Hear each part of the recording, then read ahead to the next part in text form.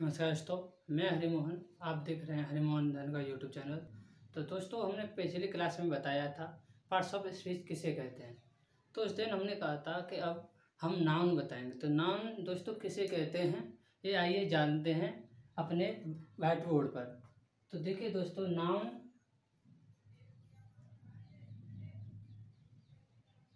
Noun होता है एक संज्ञा।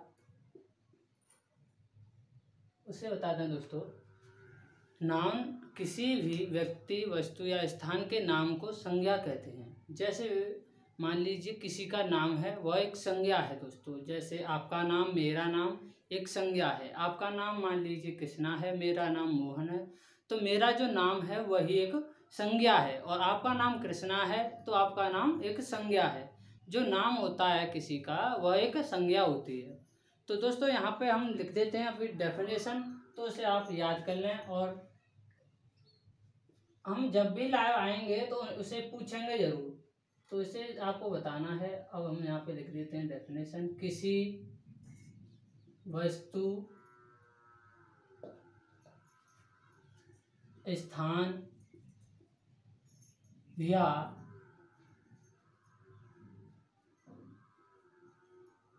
व्यक्ति के नाम को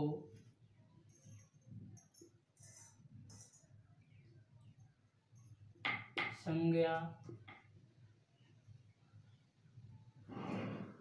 कहते हैं। दोस्तों, आपके लिए क्लियर हो गया होगा कि किसी वस्तु, स्थान या व्यक्ति के नाम को संज्ञा कहते हैं। जैसे मोहन, किसका नाम है एक? व्यक्ति का। राम एक व्यक्ति का नाम है। राजस्थान, एक कहाँ का नाम है? स्थान का, जैसे हाथरस। कहाँ का नाम है? एक स्थान का। और कुर्सी किसे कहते हैं? एक वस्तु से। बर्तन बर्तन एक वस्तु है। ऐसे आदि। तो जैसे दोस्तों हमने बता दिया, किसी वस्तु किसी वस्तु, स्थान या व्यक्ति के नाम को एक संज्ञा कहते हैं। तो दोस्तों अभी आपने ये देख लिया होगा तो अभी वो क्या होगी, ये आपको हम इसके द्वारा बता देते हैं।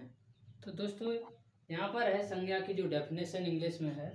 A noun is a word use as name of a person place और ए थिंग्स इसका अर्थ ये है, किसी भी एक शब्द या शब्द होता है, शब्द के स्थान पर, जो नाम के स्थान पर प्रयोग किया जाता है, व्यक्ति का जो नाम है उसे संज्ञा कहते हैं। और दोस्तों, यहाँ पर आप समझ गए होंगे कि संज्ञा किसे कहते हैं। बहुत आसान तरीका था, ये हमने आपको व्हाइट बोर्ड की तरफ़ से बताया है।